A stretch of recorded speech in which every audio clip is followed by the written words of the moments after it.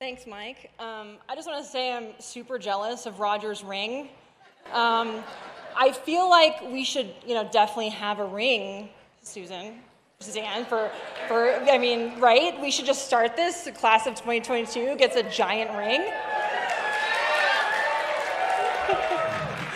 I like starting new trends, so I'm going to push for that. But um, first, I just want to thank the USOPC and the committee who nominated me into the Hall of Fame. It's such an honor, and I'm so humbled to be here with so many amazing champions. I've been inspired by Billie Jean King and pretty much everyone here tonight.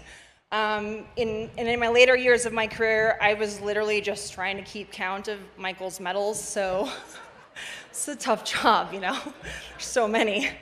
Um, but for me, the Olympics have always been more than just a competition. Since I was nine years old, I've always looked up to Picabo Street. And the Olympics have given me inspiration and hope. And it has been the fire that's driven me for honestly my entire life. Um, always the pinnacle of sportsmanship and achievement.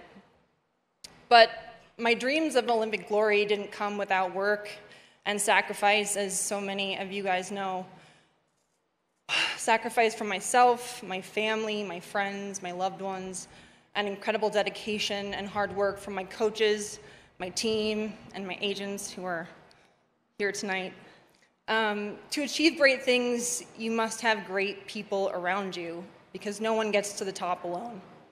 So I stand here today with those thoughts in mind, and I would like to dedicate my induction to everyone who's helped me get here, to the team who has stood by me through thick and thin, to my family for sacrificing so much without any hesitation. But mainly, I would like to dedicate this to my mother. She's having her own battle right now with ALS. And She's taught me so much about strength and character, and it's because of the example that my mother set that I was able to overcome whatever obstacle was thrown at me. Thank you, Mom.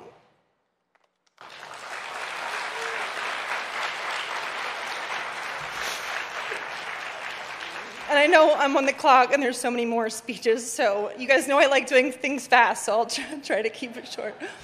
But I'd like to leave you with, with one last thought. I'd like to encourage the past, present, and future Olympians and Paralympians to continue to keep the Olympic and Paralympic spirit alive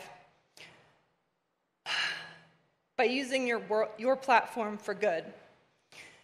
These amazing people before me and many others have proven that great things can be achieved in ways that reach far beyond medals. And in the world we live in now, especially today, it's so incredibly important. Citius altius fortis communis, stronger, faster, higher, together. Thank you.